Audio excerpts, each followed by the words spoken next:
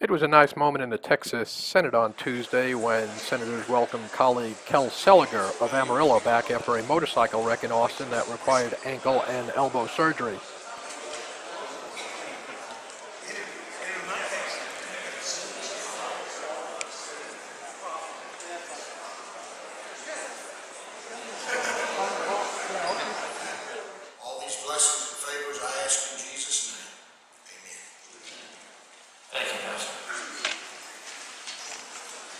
Members, let's welcome back Senator Seliger.